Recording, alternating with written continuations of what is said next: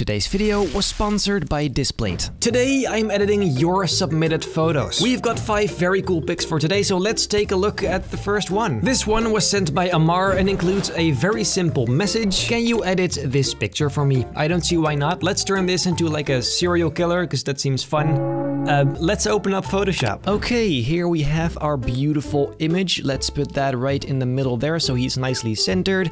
There you go. We have to cut him out. Like, it's it's that obvious. And you know how nitpicky I am. We just need the pen tool for this. Let's freaking go. And here he is, beautifully cut out. Let's make him a tad bigger again, like that.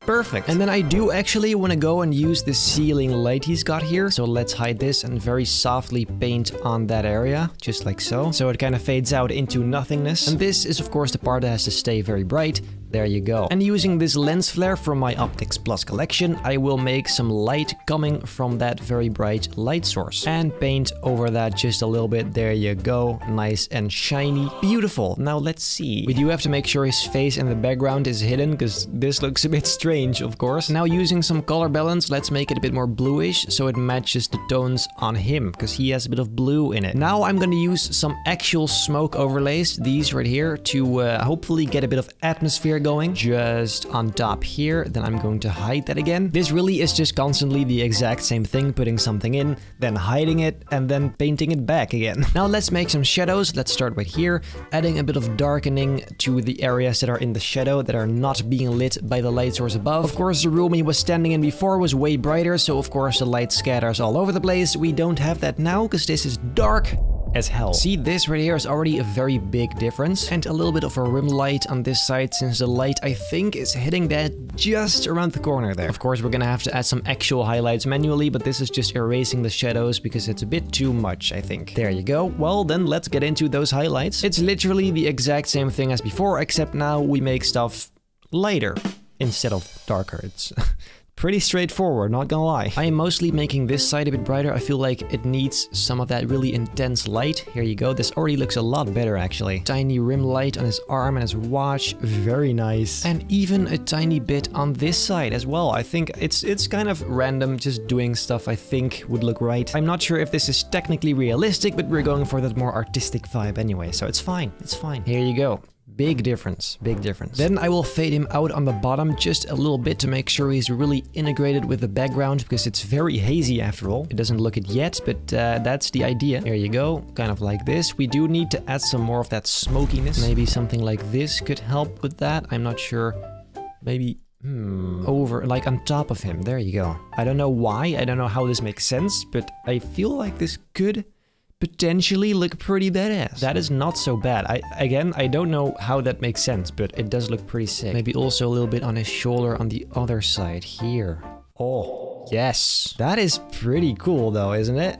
I like that. And let's add some brightening up here to make it very intense, like very bright. Here you go.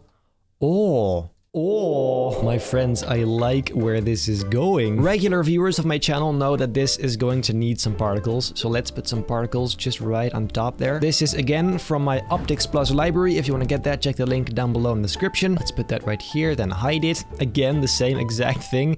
Hide it and paint it back. Here you go, nice and subtle. This I shouldn't do too intense, because it still has to be very eerie and subtle. Yes, dude. Check that out. Oh, that's sick. I'm curious to see what happens if we put a table behind him, like right about here. Very subtle, so we have to hide it like a lot. So first we have to obviously make it very dark, something like that. And then just kind of erase it like a lot, like, like this, so it's barely even visible, even more, like so. Yes, I like that. You can barely tell it's a table, but I still like it. Let's put some blood on there. Just right there on top, very subtle. Oh, I love that. Look at that. Oh, that's that's great. Okay, we need to add some blood on this guy as well. Here I have this thing. Let's put that on multiply. Oh my god.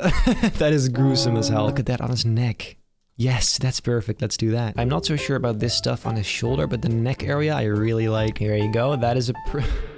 Oh my god, dude. I like it though. That looks pretty sick. Time to put some more in. Here you go. is it a problem that I like this stuff so much? I think it is. I think at this point I'm a psychopath. Right here, let's put this stuff on his arm there. There you go. There you go. You know what? I feel like we shouldn't overdo this one. Like, this is pretty good, and I don't really know what to add other than, you know, a camera raw filter. Let's see what we can do in here. It definitely has to be nice and sharp. Something like, uh, like this, I think, isn't so bad. I want to make that light very creepy. Something like, what if we make that a bit blue? Oh my god, dude, look at that. Oh, that is actually super creepy. I love that. Maybe one last thing I want to add is an iris blur. I barely ever do this, but it just has a nice effect, I think, for this. I feel like that could make it a bit more claustrophobic for this one. I like that sort of effect. There you go. I feel like this has potential. Let's just do that. Hit OK. And then I guess that's it. I really, really like this one. It's extremely simplistic, but still, I like it. That's nice for change. Back to the studio.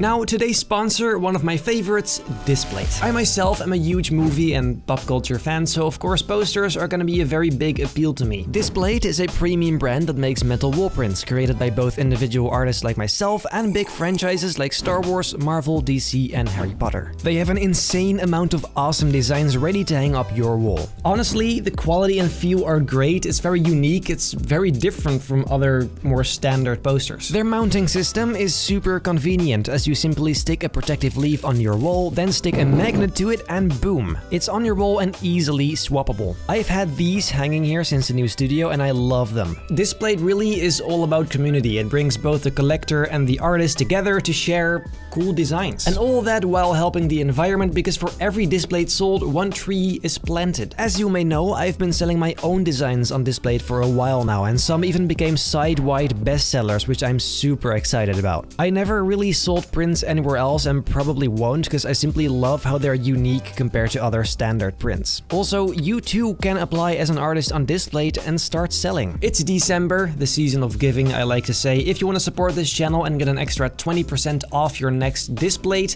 use the link down below on top to to do that. Big thanks for listening and to Displate of course for sponsoring this video. I am and will remain a big fan.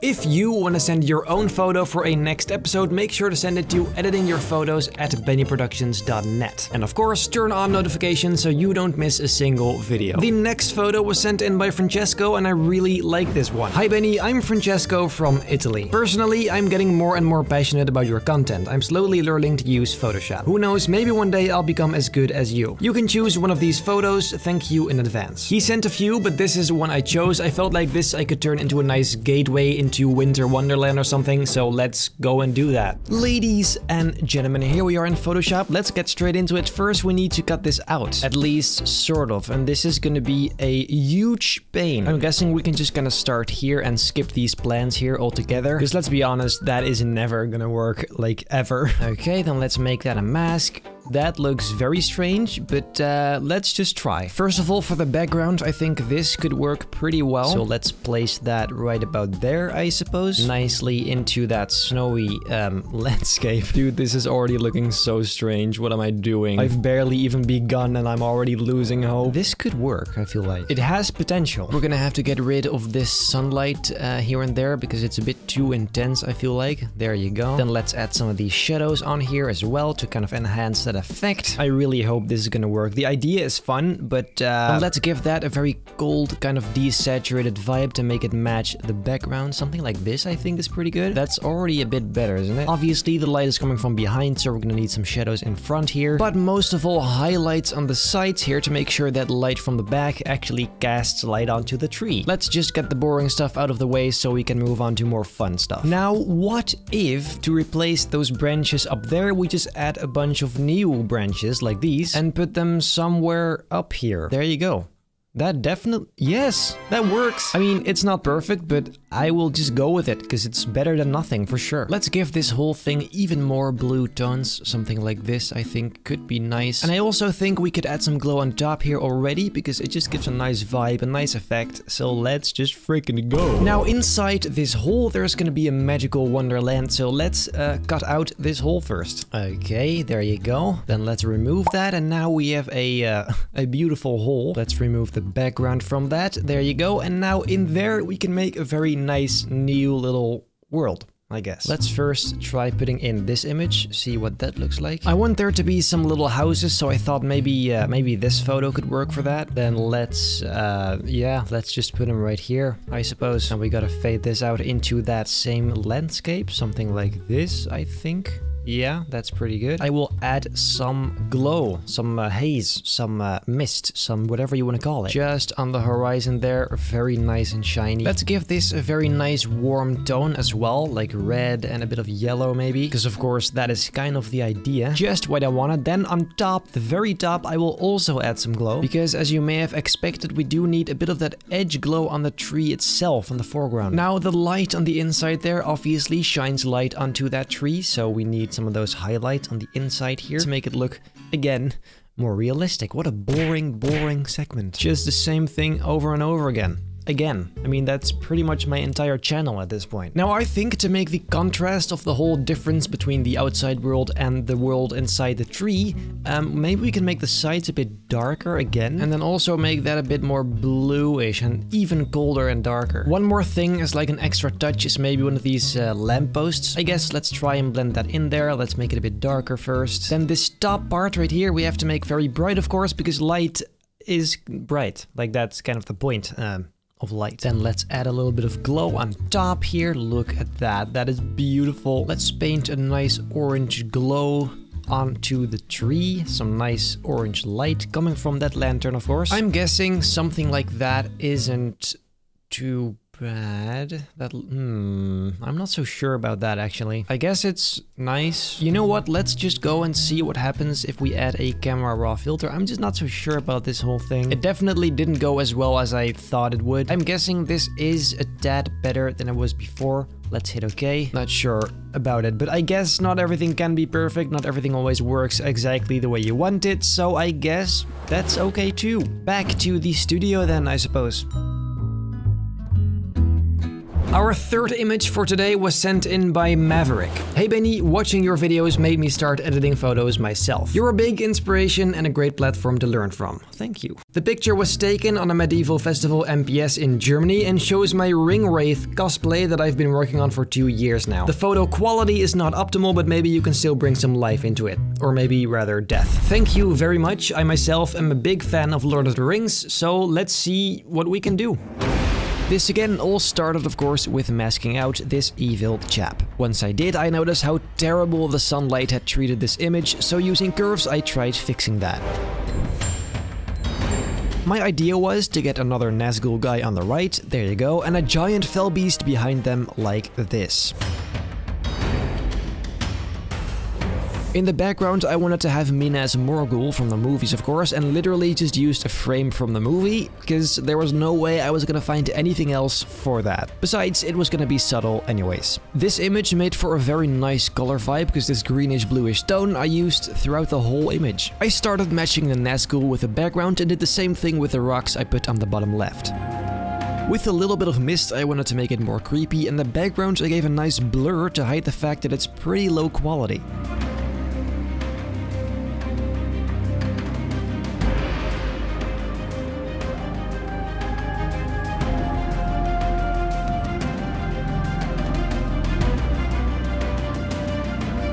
The highlights on these guys were pretty straightforward, the green color from that castle shines light on all of them, and that looks pretty cool. The Fell Beast was a whole different story though, as I actually needed to add proper shadows and everything. It took a while, but thankfully this worked decently enough in the end.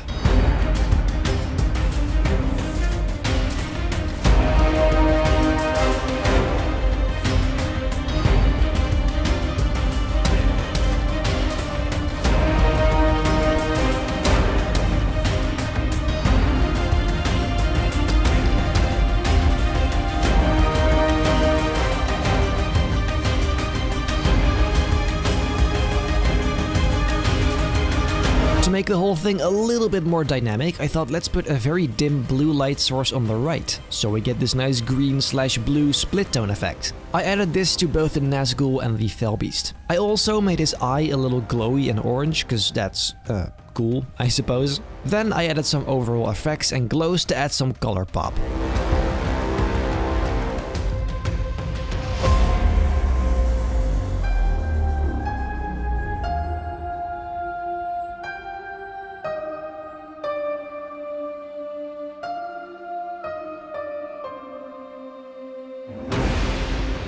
Something I thought would go nicely with that eye color is sparks. In the foreground I added some sparky overlays from my own overlay pack, and that had a great effect if you ask me. I enhanced it with a bit of lighting and glow, and now we have three light sources instead. Now it was time to add a camera raw filter to make sure everything pops a bit more and get some clarity and sharpening. After that, I called it good.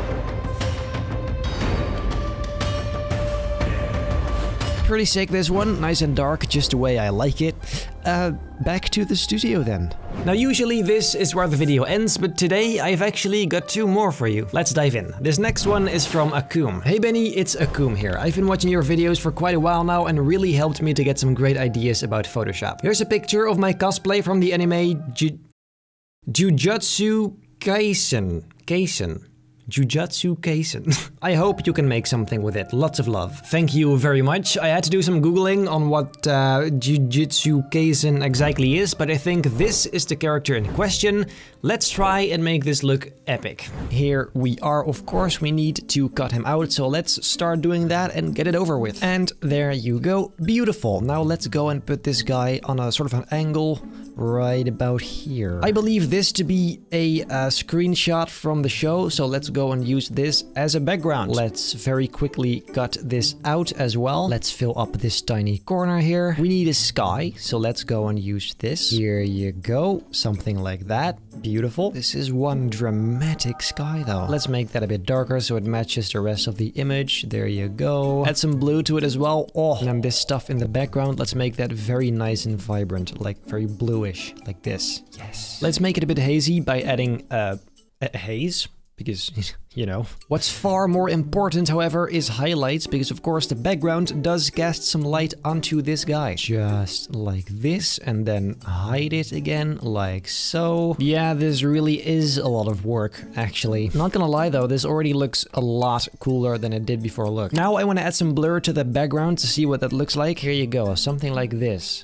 I actually like that. That's hit okay. Now, I don't know about you guys, but I feel like it would be great if it's raining here. So let's try that and see what happens. For that, I'm again using some of my own overlays. So let's put this on screen, make it very big. Now, we're gonna need a ton of these and also blur a bunch of them to make sure the depth really is going on there. I uh. also have this more subtle one to put in the background. Already looks pretty damn rainy, but I feel like we can use even more. Just a little bit right here, like that, because we do, of course, need to have that interaction with the rain and this guy. Once again, this is also from my overlays pack, so be sure to check the link down below to check those out. I really like this actually. I barely ever make rainy images. In fact, I don't remember making one like ever. I'm also adding some really subtle darkening on his shoulders here to make it look like the cloth is actually like wet. And now for the main kind of idea of this image is of course the fire in his hand. I think that is what I gathered from the images. So I'm going to use this flame thingy in his hand here to, uh, to to do that. Kind of like this. I'm not, that looks a bit, looks a bit, um, a bit strange. It does. Nah, I mean, it's not too bad. Let's try adding a glow and see what that looks like. Just very subtle on top here. And of course, that shines light onto his face. So let's try and add that as well. Just like so, a bit of blue light shining on there. And well, then let's check out and see what happens if we add a camera raw filter. Like the blue on his face just went a bit overboard and now we're at a point where it can't really be fixed. Wait a minute. I don't know about this. It's it's okay, but it's not great by any stretch of the imagination. and I'm not even really sure why. It started out pretty great, but then it just went south real real fast all of a sudden. But uh, anyway, on to the next one. Then to top it all off, this last image for today is sent by Shakiro. The name is Mason, Shakiro by nickname if that's easier to say. I'm a huge fan of your artwork, which in fact is also a huge source of inspiration for my own photoshops. Here are some photo shoot photos of mine, you can edit anything on them as you like. Best regards, a fellow fan, Shakiro. Very cool. I haven't personally seen Attack on Titan, but I do sort of know what it's about, so uh, we're just gonna try and see what happens really. First off, I popped in Shakiro right in the middle there. I then instantly filled up the whole bloody place with buildings, a ton of buildings. Somehow, I believed it to be a good idea to make the whole street manually.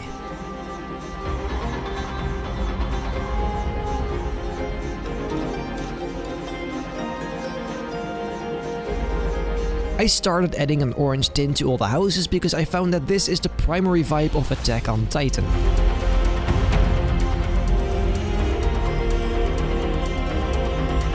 In the back I put the wall and added some small detail to it, because without it it seems a bit too boring, I guess.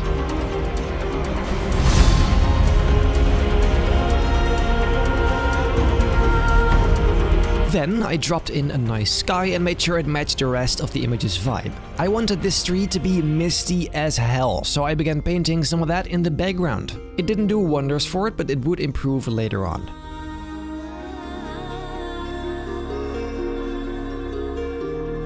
Now, time to make the subject and the buildings look a little more integrated with the whole thing. I started adding lighting all over the place considering the new light source I had put straight in the middle there.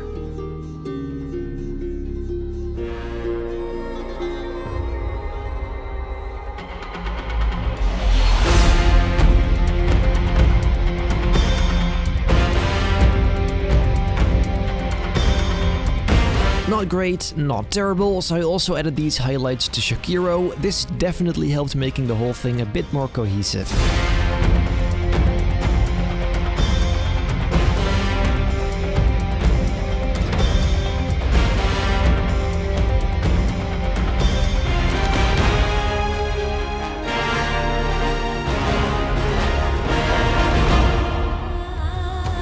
Thought, you know, maybe it's nice to put some titans in here as well, and then I found this thing, which I think is called an armored titan. I'm sorry to fans of Attack on Titan if this image makes absolutely zero sense, but I am doing it anyway. I spent some time on making those look a bit better, but soon I realized they would always have this sort of cartoony vibe. I guess I had just accepted that. Then I thought, what could possibly make this look more epic? Fire. I again put some fire and sparks in the foreground there and after realizing that's cool as heck I decided to also put some of that in various places in the background, because why not? Clearly this place is under attack.